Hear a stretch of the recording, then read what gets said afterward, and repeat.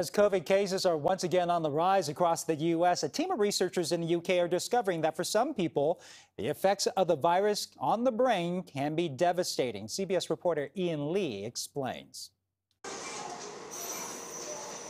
As people fight for their lives with extreme cases of COVID, the virus is also damaging their brains in some cases.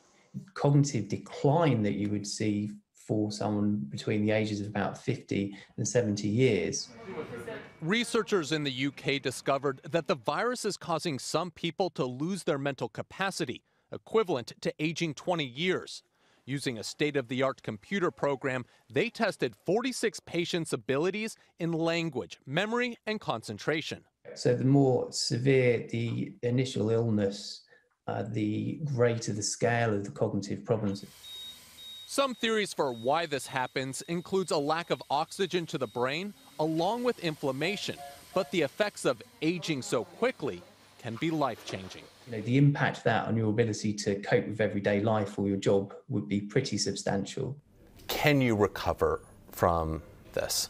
Uh, quite a few of these patients may not be able to, for example, return to work. Some of them may not ever actually completely recover their cognitive faculties.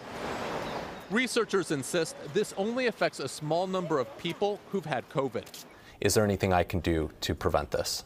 Probably the best thing you could do to try and prevent this happening is to make sure you're fully vaccinated. Scientists add vaccines not only reduce the severity of COVID, but also the risks of brain damage. Ian Lee, CBS News, London.